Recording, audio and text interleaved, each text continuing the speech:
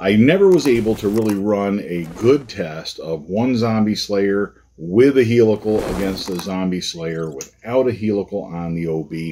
And Bunjie is going to have that opportunity. I'm going to take these helical vanes off of here, refletch this arrow, show you how we do it. So hopefully that'll work out good. Now the first thing we need is my little fletching box, which is right here. That's the insert removal tool that I store in here as well. But I have my Easton EZ Fletch. You know, it's funny. I've been telling people for years that I have a Arizona EZ Fletch. And then I went and looked up what I have and tried to find uh, details on how to switch the blades out here, the arms. And I learned that it's an Easton, not a not an Arizona EZ Fletch. Isn't that funny? In this uh, box, though, I had lots of tools that we're going to use for various things. I do have some orange and some green, which I bought with the intention of putting on the zombie slayers. So I'm going to do that now. In here also, you'll notice my glue, my Goat Tuff glue. I have it taped. The container is taped inside here. And I have it taped like that so that I can keep store the glue tip up so that it all the glue drains back down into the bottle. That way, that bottle will last a lot longer. It's not filling up the tip and drying in the tip. So I think we'll go with the green and the orange to match the Zombie Slayer logos, right? That look pretty sharp. But we're going to put the offset fletch on here. I also have blacks. I have whites. But I don't think I'm going to do that on this one. And I also need this little tool too, which we'll go over. We'll see how that works. Well, first thing we got to do is undress the arrow. Let's take the field point out. Don't need that in there, getting in the way. And then we're going to take out our Burt Coyote Lumenok if we can. If we can't, we'll wrestle it out of there with the pliers. The pliers have the rubber, a little piece of rubber put in them. And that is just a little piece of rubber that I cut that I put inside that those pliers to protect the nock so it doesn't scratch them. If you do, it'll scratch them. It'll wear them out a lot sooner. But this is the the Ultra HD Orange or something like that from Burt Coyote. It's their newer stuff, and I really like those. They're really, really bright.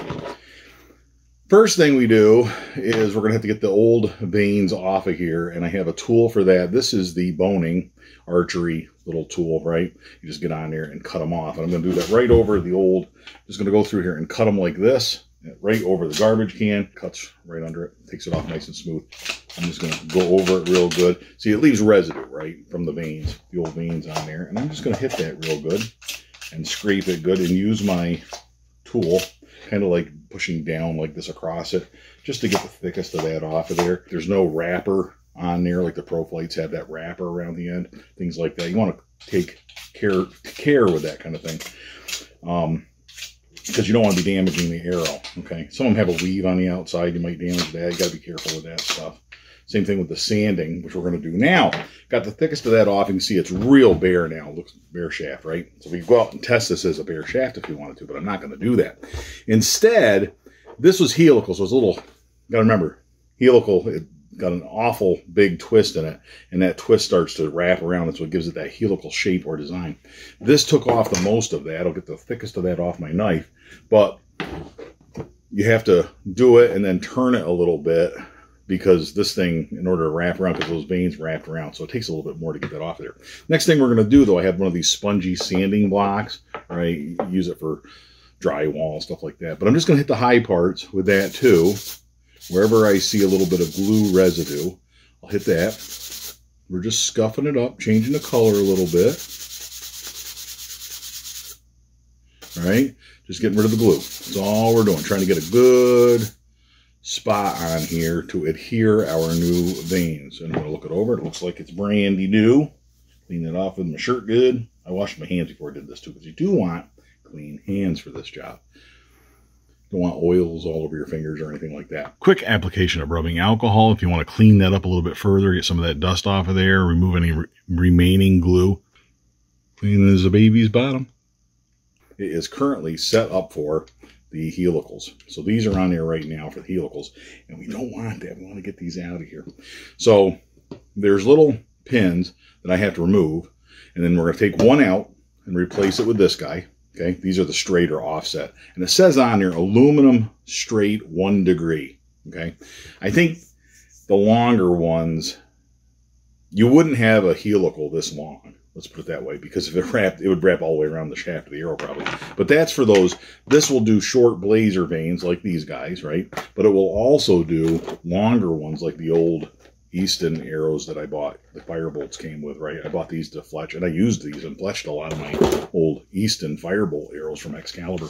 These are what you would use for that too, that one degree offset. So it's almost a straight fletch, not an awful lot of twist on it, but it's more in line with what you have. And here's a couple examples right here, right? It's more in line with what you would get on a stock Excalibur arrow or a lot of stock arrows. My stock Deathstalker arrow is kind of the same thing. The ProFlight arrow, that looks like a one degree offset. It's almost a straight fletch, right? It's almost a straight vane. It's almost straight on here. So we'll get these arms off of here and put the new arms on. That's going to be a little bit of a hassle, but we'll figure it out. Hard to film myself doing it, but I took that Allen wrench and I pushed it through that hole right there. And basically it pushes that pin out, okay? It's a struggle. All right, and that's what it looks like when we're done. We're going to pull that pin, put it in the next arm, one of the orange arms, and then put that in its place. I got one of them done. That's probably good enough. Way more arms than I need, not in terms of number of arms, but in terms of length of arms. I don't need vanes that are six inches long. But nonetheless, this was a lot easier to get these little pins out this time than it was the first time. I think once you do it a few times, it like loosens it up so that they, it goes a lot smoother the second time around. But I didn't fight with it nearly as much as I did the first time. Yeah, that part actually went a lot smoother than it has in the past. I am really surprised. Let's see if we can put some vanes on here. Key with putting vanes on arrows. Make sure you put them on the right end. Don't put them on the end with the insert. You probably could. Could drop that right down in there and put vanes on it. But we're not going to do that, are we? Let's put two greens and an orange just to get a little color in there. We'll get two greens. Boom, boom. Here is two greens. Blazer vanes. I do like the blazer vanes. You can experiment with different vanes and different things are quiet. Some of them are quieter. Some of them are considerably quieter, actually, from tests I've seen. And other ones fly differently, whatever. Um, I try to keep it consistent across the board because I'm always using the same equipment. Consistency is a big deal for me. I like consistency. Now, the odd dude we're going to put in the gray arm, and the other two are going to get the regular ones. But, but, I want to line up my logo. Now, this means absolutely nothing to the typical user of crossbow arrows. It doesn't mean anything, right?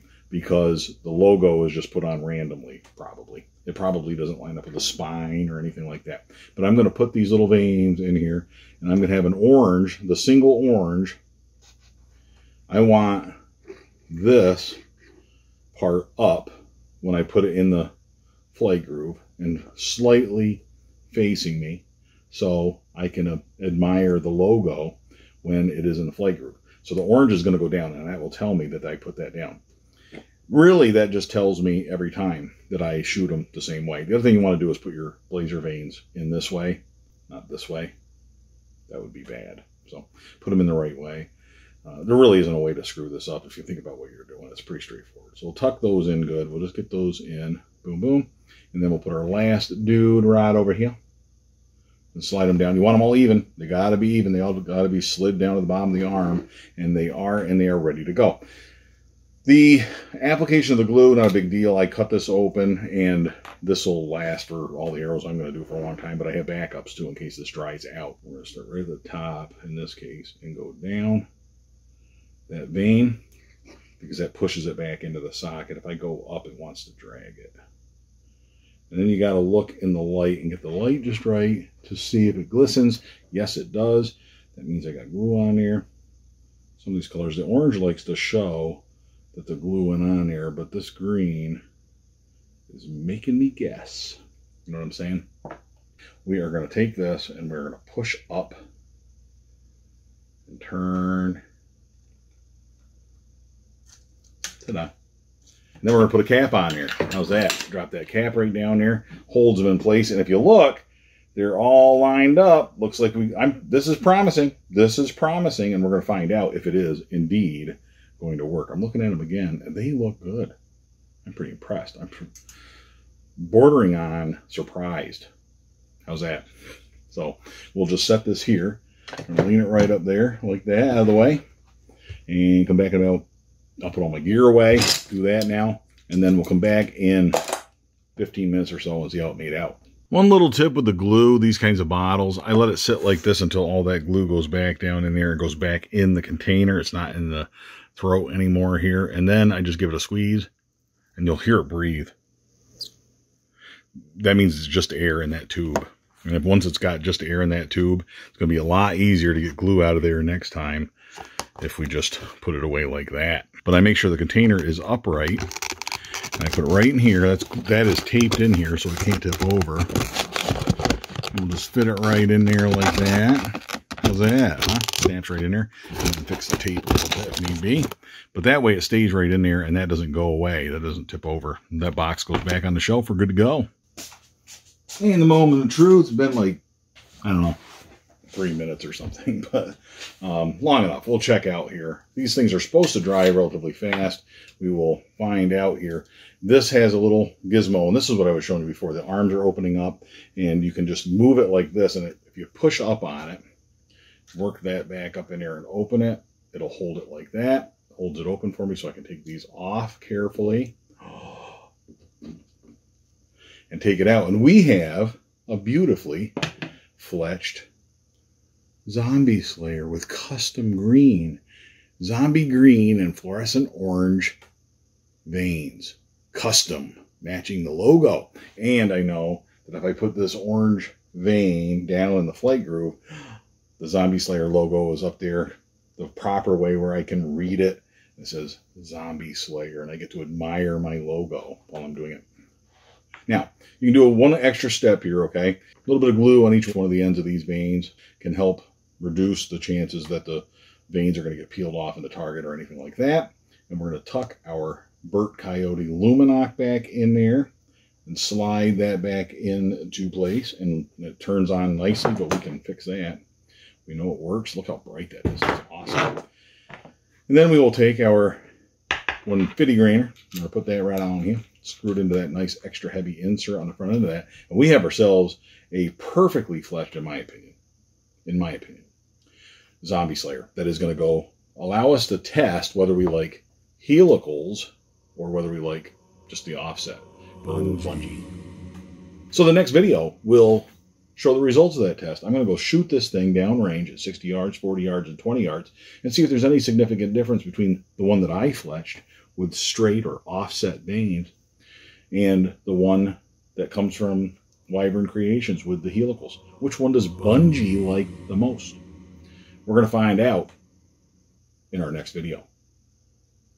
Until that time, all hail Bunjie.